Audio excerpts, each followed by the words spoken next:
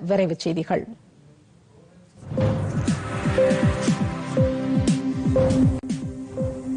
ஆந்திர மாநிலம் விசாகப்பட்டினத்தில் தனியார் கப்பல் நிறுவன கிடங்கில் தீ விபத்து ஏற்பட்டது. தகவல் அறிந்து சம்பவ இடத்திற்கு சென்ற தீயணைப்புத் துறையினர் நீண்ட நேர போராட்டத்திற்கு பிறகு தீயை கட்டுக்குள் கொண்டு வந்தனர். இந்த விபத்தில் படுகாயமடைந்த ஏழு பேர் தனியார் மருத்துவமனையில் அனுமதிக்கப்பட்டனர். இதில் நான்கு பேரின் உடல்நிலை ஆபத்தான நிலையில் இருப்பதாக மருத்துவமனை நிர்வாகம் தெரிவித்துள்ளது.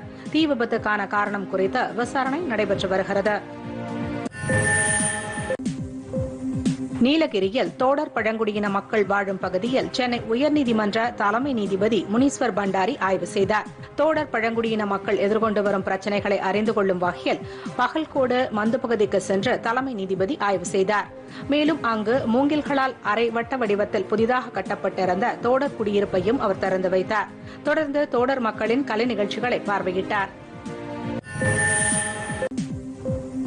நாமக்கல் மாவட்டம் திருச்செங்கோட்டில் அகில இந்திய அளவில் பதினேழு வயதுக்குட்பட்டோருக்கான ஃபுட்சல் சாம்பியன்ஷிப் போட்டிகள் தொடங்கின. தமிழ்நாடு புதுச்சேரி கேரளா ஆந்திர பிரதேசம் உள்ளிட்ட பதினெட்டு மாநிலங்களைச் சேர்ந்த அணிகள் பங்கேற்ற இந்த போட்டியை மாநில வீட்டு வசதித்துறை அமைச்சர் முத்துசாமி தொடங்கி வைத்தார். அப்போது பேசிய அவர் வீரர்களுக்கு அரசு எப்போதும் உறுதுணையாக இருக்கும் என்றும் தனியார் கல்வி நிறுவனங்களும் அவர்களுக்கு உறுதுணையாக இருக்க வேண்டும் எனவும் கேட்டுக் கொண்டார். ஈரோடு சிக்கைய நாயக்கர் அரசு பள்ளியில் விளையாட்டு மற்றும் உள் விளையாட்டு அரங்கம் அமைப்பதற்கு நடவடிக்கை எடுக்கப்பட்டு வருவதாக அமைச்சர் தெரிவித்தார். கோடை விழாவை முன்னிட்டு திண்டுக்கல் மாவட்டம் கொடைக்கானலில் மினி மாரத்தான் போட்டி நடைபெற்றது.